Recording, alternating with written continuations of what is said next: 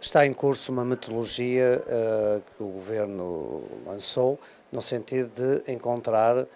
espaços de consensos, de diálogo, para que o orçamento possa vir a ser aprovado como, creio eu, o povo português deseja. Portanto, eu acho que a metodologia é correta, acho que a proatividade que se espera, quer do Governo, quer dos diversos partidos que estão representados na Assembleia, uh, deve partir de uma base de boa-fé, ela existe seguramente, com o interesse de colocarmos o interesse nacional acima daquilo que são os interesses partidários. A dimensão parlamentar em todos os países atinge hoje uma focalidade muito importante no debate político.